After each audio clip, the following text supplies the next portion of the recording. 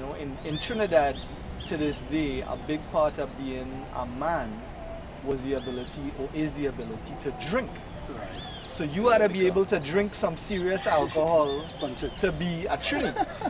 right? And, and that doesn't translate to women, although I know I know some women that could drink men under the table. Right. But the, the idea is that, you know, a Trini man, you had to be able to hold your liquor. Yeah. Right? So that, that was a big kind of story about manhood.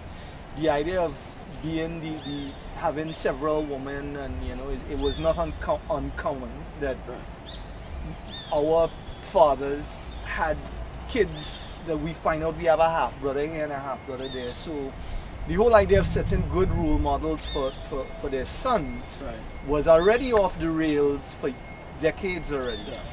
And but the, but the really interesting thing for me is when I lived in the States, I met a woman who was from uh, Louisiana. And she told a story about how her parents saved money for their son, her elder brother, to go to college. Right. But when it came time for him to go to college, he said he didn't want to go again. So she asked her parents if she could go. The parents laughed and said it's a nice idea. You know what they did with money? They bought a car for the son.